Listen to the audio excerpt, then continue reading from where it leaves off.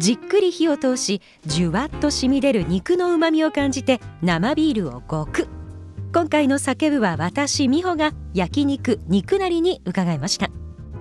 今回は新しくオープンしました。肉なりさんにお邪魔しています。よろしくお願いします。よろしくお願いします。オーナーの佐藤智成さんですでは、はい、肉なりはもともとここは焼肉エリア215でしたよね、はい、そうですね。ちょうど30年という節目もありましてそこでもっと焼肉エリア215をパワーアップさせて体なりでこう認知広まったユッケジャンラーメンをもう一度ここに戻してあの皆さんに焼肉とそして最後ユッケジャンラーメンで締めてもらおうと思ってあのこういう名前にしました。では今日のメニューを紹介していただけますか？はい。えっと今こちらにありますのはこちらまずサガリそして長いハツというあの名称にしているんですけれどもハツですね。あとこちら厚切りの牛タン。そしてこちらが油付きホルモンの、えー、赤だれというちょっとピリ辛のホルモンを用意してます。あとこちら牛ロースですね。はい。こちらを今用意しております。では今日の、はい、この中でもおすすめというのを。はい。まずこちらサガリですね、はい、これサガリなんですけれども。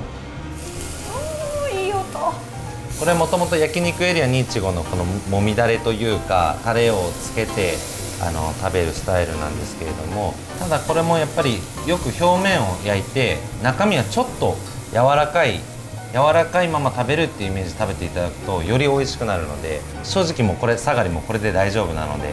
もういいんですか？はいこのまんまいいですか？はい、ね、タレの方に。はいタレに。はい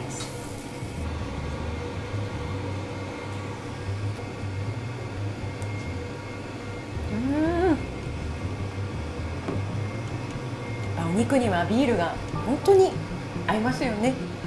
基本的にはやっぱりちょっとこの下がりの柔らかさと、ね、脂身加減をしっかり味わっていただきたいのであんまり焼きすぎないのがおすすめですね、ねはい、すっごい柔らかくて、はい、味がね染み込んでるんですそうですね。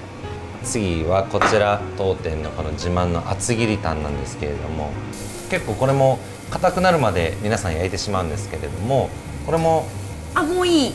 はい。ちょっとこう線がつくぐらい。そうなんですよね。一旦これをこちらに乗せていただいて、はい、この上に味付けのネギを乗せていただいて、お箸で一緒にはい。このままいっていいんですか？はい。ネギを乗せただけですよ。はい。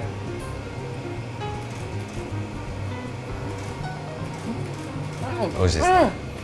うん、うんすごいちゃんと歯ごたえがありながら、はい、でもさっくり切れちゃう、はい、薄切りだとはちょっと味わえない食感がありますよね、そうですね。今日は美味しいお肉ビールありがとうございました、はい、いやこちらこそありがとうございます。では少し PR お願いします。はい。あのー、もちろん今の PR で焼肉屋なので、あのー、焼肉は美味しいことはもちろんのことお酒とお肉と居酒屋メニューそしてさらに最後にあの締めにユッケジャンラーメン。麺や辛なりで今広めておりますユッケジャンラーメンをぜひ締めに食べていただいてもう大満足して帰っていただければあの私たちも嬉しいのでぜひ一度足を運んでいただければ嬉しいです。焼肉エリア215がリニューアルして焼肉肉なりに。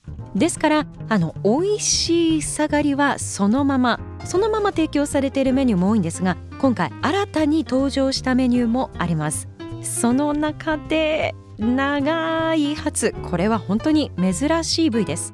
さらには厚切りのタン私タン大好きなんですけれどもこの厚切り珍しいんですよね。歯切れがいい。サクッと切れるんですが肉本来の旨味が味わえます。さらに特製の味付けのネギこれがまた最高なんですよね。ぜひ行ってみてください。